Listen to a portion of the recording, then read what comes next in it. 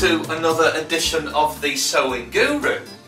Now in this particular video I'm going to show you how to attach your collar onto the lapel of your waistcoat. Now as you've noticed on my waistcoat here I've already attached one side and left the other side because of course that's the side I'm going to be showing you how to construct this together. Now I'm working with a notch collar but the peak lapel is exactly the same. It attaches to this in the same way. Apart from of course that the peak lapel goes up like this but the collar will sit nicely next to the peak lapel. So like I say the collar parts will work with both styles. There's no difference at all. Now the collar sits on top of the lapel and just sits to the top of the shoulder point here and of course when you attach the lining it will disappear into the lining. So what I've done, as you can see, I've just constructed that just to show you what that is going to look like and how your collar should end up. So, the first thing, what you need to do, now you might have already done this in a previous video, but you need to, of course, print off the PDF file for the collar parts. Now do that and then you need to cut them out. Now as you can see, they come in two parts. You've got the under collar and the top collar. Now the under collar is slightly larger than the top collar. And of course you'll see why as when we are constructing it. So you need to cut out two of each part. So two top collars and two under collars. So of course we're going to be working with a left and right. And when you've done that, fuse your pieces together and then we're ready to start. Okay, so as you can see I've cut out my collar parts here and I've fused the underside of both of them. So the first thing what you need to do is you need to mark where the notched part is of these collar parts. So just place your collar, collar parts onto the pattern like that. Okay. And what we're going to do is we're just going to put a pin.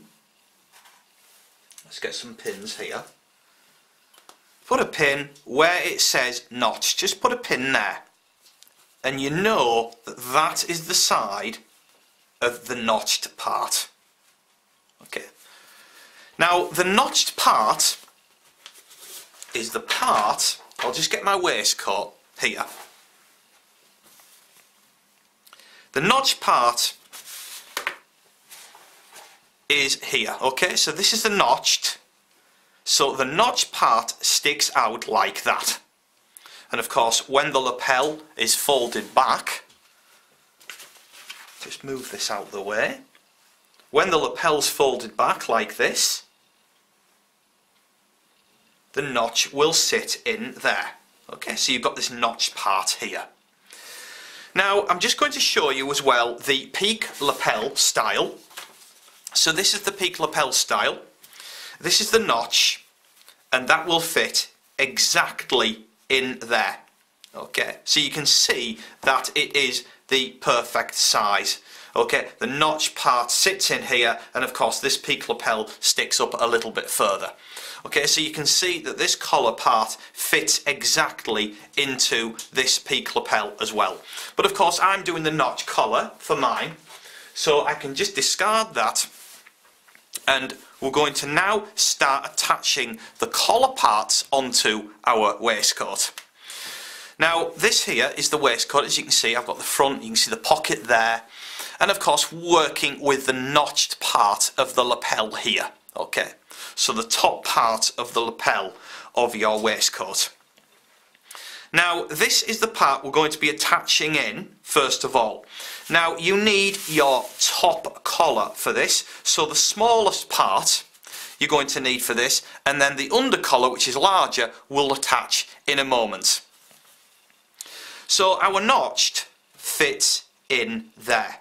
Now of course like I say when the lapel goes back like that you need to have fabric showing like this. So the fusing will end up on the inside of your collar. So you need to turn over your waistcoat so that you can see the lining and place your collar into there. This is a notch part of the collar. Like so.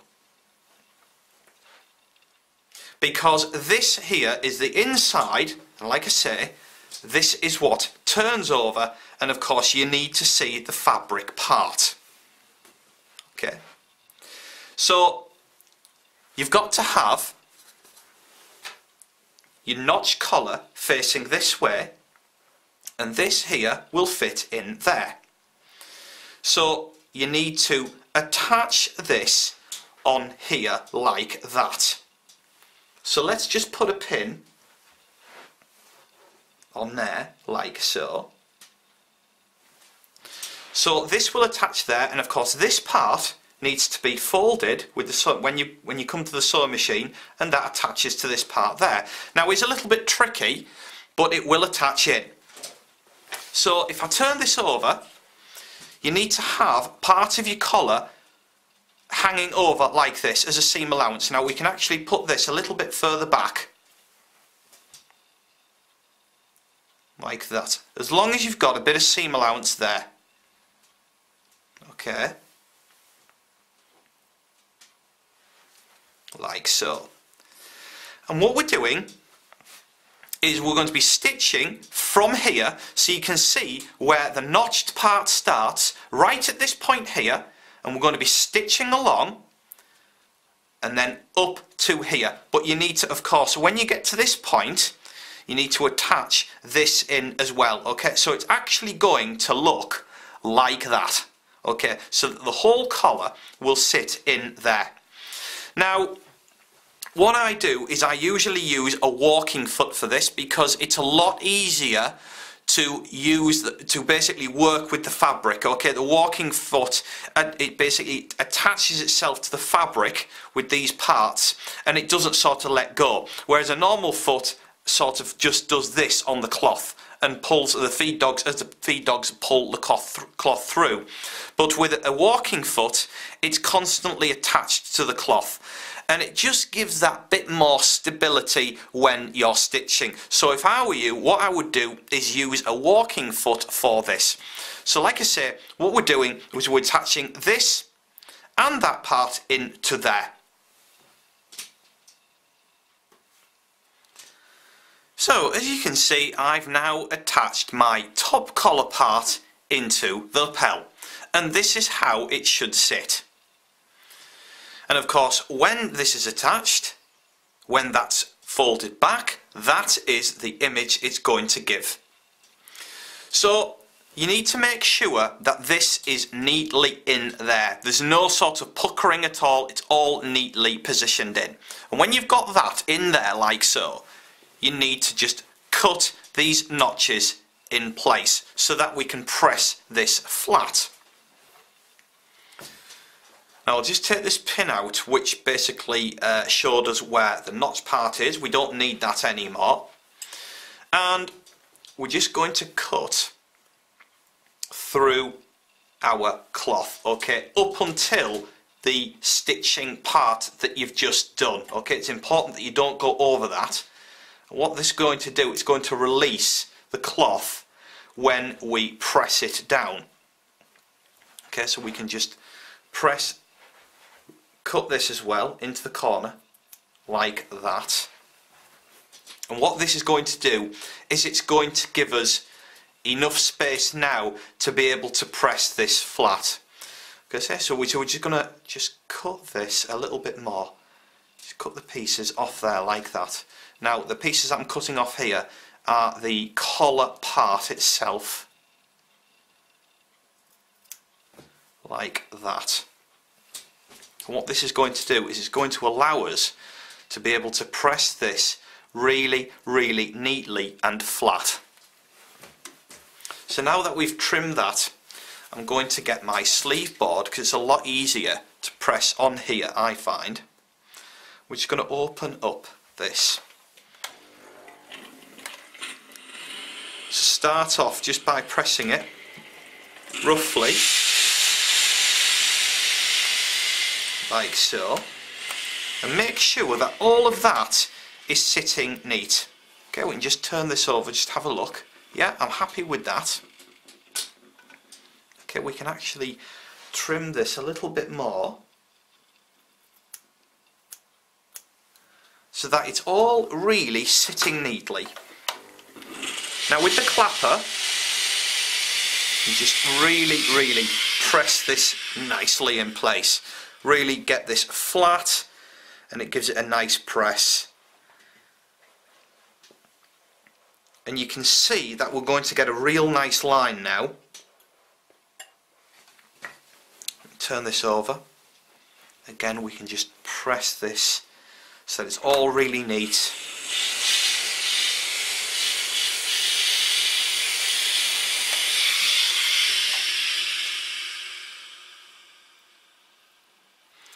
And the flatter that you get this, the more neater it's going to look. Because it's important that this seam is really, really nice and neat. Now if I just take this out of the way, I can show you why we need to press this really neatly. Because when that's folded, like that, this here is going to be a real nice pressed seam. So it's very important that this is neatly pressed in place. Okay, so now that we've done that and we've pressed this in place, we now need to work with our other collar part. Okay, so this is the under collar part and it's the largest piece. So again, that's going to sit in there like so. Now you see, we've still got our pin here for the marked notch part. That will sit on there like so and it will be attached in here. So the first thing we need to do is, like I said, just place that as if the collar is going to be attached. So this is the notched, that's your notched, place that on there like so. Now these two parts here are the parts which we need to fold over. Okay, so what you can do is just put a pin here and put a pin here just to know which sides that are marked which we're going to fold over. These parts here we don't need and of course this is the top part which will disappear into the shoulder seam. But these parts are the parts that we're going to fold over. Now that once that we've got these two parts we can turn this over, take this pin out and just press this part here.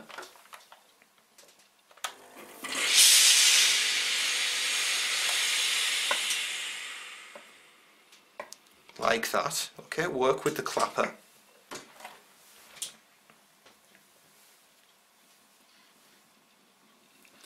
And this part here as well which we've marked we need to fold as well like so just fold these.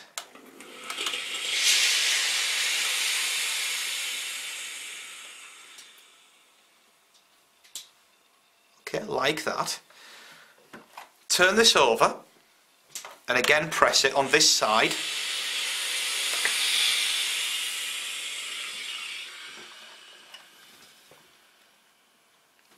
Like so. Now now that we've got these two parts pressed over like that what we need to do is we need to stitch these down. Now this is why I use the walking foot because it easily just goes over bulk like this with no problems at all. So what we're doing is we're stitching from here down to here and across here and we're just stitching on the edge making sure that this is caught down and it's going to keep this nice and flat okay? And of course you're going to get a row of stitching across that side only. So stitch from here to this point here. So as you can see I've now stitched across here and I've caught these raw edges in place. We folded them over and that's going to just hold that neatly in place. So we just press this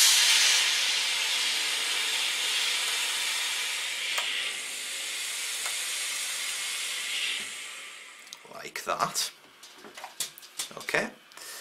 And what happens, the reason why we folded those parts over is because when this is attached to our collar part there, it just finishes it all off. There's no raw edges at all.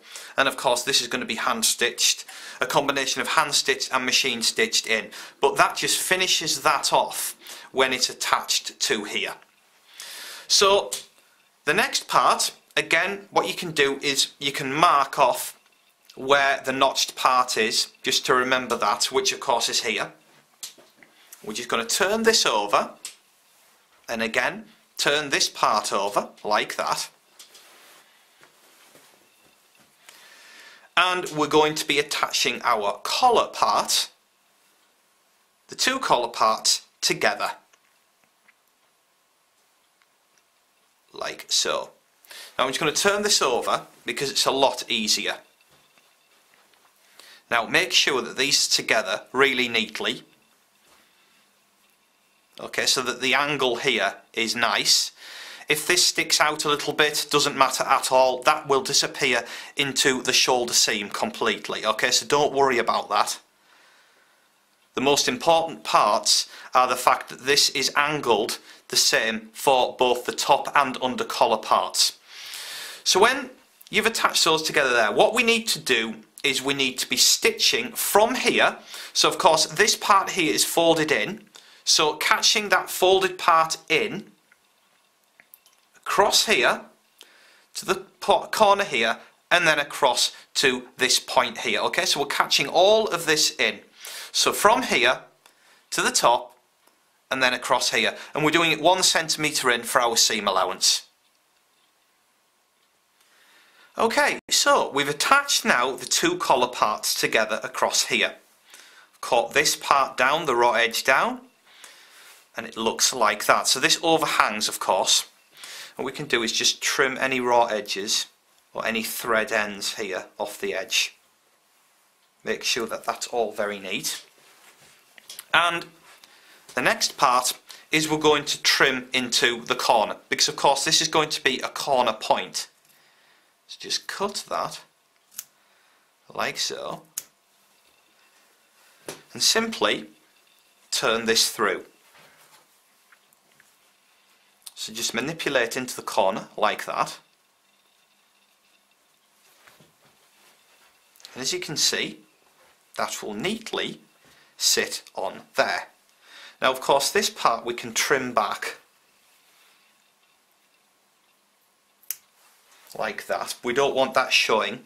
Okay, it needs to be all really neat. Just manipulate this with your fingers and press this down.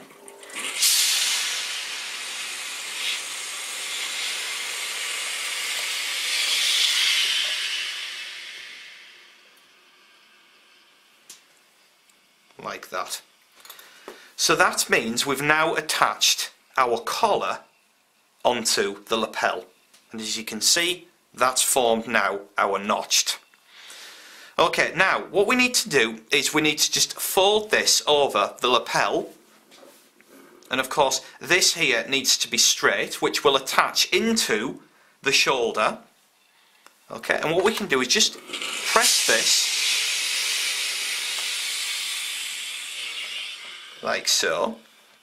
So that we're, what we're doing is we're getting a line here. Fold this so you can see your actual line. And put some pins in here to attach the collar down. Like that okay now those pins are right through the whole cloth. But if I turn this over, you cannot see. They're on the other side. So if that's the case, that means when we stitch this, we won't see any stitching when we're wearing the waistcoat. And what it does is it helps us attach this collar part in. So what we're going to be doing is we're going to be stitching across here and then across to here, but don't go beyond this crease point. Otherwise what will happen is you're going to get stitching which will come through this side and it's going to show. So we're stitching from here and then down to about here and then I would stop just before the crease mark, go back up a little bit and then across here and then back up this side. Okay and what that'll do is it'll attach our collar in place and then there's the smallest amount of top stitching to do. So I'm just going to stitch this part in place right now. So I've now stitched my collar part in place and that's all neatly stitched in. And of course when that's pressed over like that it's going to really really have this neat notch collar lapels design. And of course, as you can see, we've got stitching through the whole waistcoat on this side, but it will not show through this side which is what you want. Of course this is the part which is going to be showing when you're wearing the waistcoat. So of course no stitching is showing through at all. So the, the, the last part what we need to do is just just stitch this by hand okay? So you need to just get a needle and thread and we're just going to carefully stitch this by hand. Okay but make sure that you do not go through this side because the stitching then will show. And you don't want that okay? So just just carefully stitch across here stitching this collar part in collar part down and it gets rid of any raw edges and neatens up your collar and lapel combination. So we're just going to stitch along to the edge. Okay, only a small part of hand stitching, not much at all. Make sure that everything is really, really neat. Like I said, there's no thread sticking out, there's no raw edges make sure that that's all really really neatly stitched in place. And of course when you hand stitch you can manipulate it that if there is any raw edges sticking out you can just fold them in hide them in between the two seams and then stitch down as you go. Okay so that now is all neatly stitched in place. And as you can see we've now attached our collar onto the lapel. So the last thing, what you need to do is make sure that all of this is really neat and of course that the lapel break line here, so basically the line of where your collar and lapel starts to break, starts to fold over, you need to make sure that this is the same on both sides, on the left and right hand side of your waistcoat. And when you've got that break point in the correct place, just press down your collar and lapel.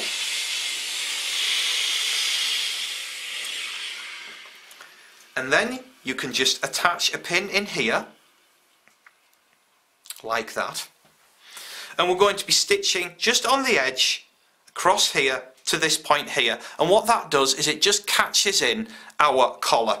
Okay so for instance if I put a pin there like that it's going to act as if it's the seam where this disappears into the lining and that's just attached like that. And it will always stay in the folded down position okay? Very much like a jacket okay? But of course this disappears into the lining whereas a jacket doesn't. The collar goes right round the back and right round to the other side. So just stitch from here to this point here finishing off our lapel and collar so what I've done is I've now put both of my front panels on the mannequin and as you can see the lapel and collar parts are now complete. They're in exact alignment here and of course the break point here where the collar starts to fold is in the same place as the underside okay so that is the same length here and here so we have now completed our front panels completely. And we're now ready to start constructing the back panels. Okay, so we're going to be putting the uh, clasps in the back, we're going to be attaching the back panels together before we can attach all of the panels together to complete our waistcoat. So if you've done your collars and your lapels like that then well done because it can be a little tricky And like I say, we're now ready to go on to the back panels. So I will see you in the next video very soon.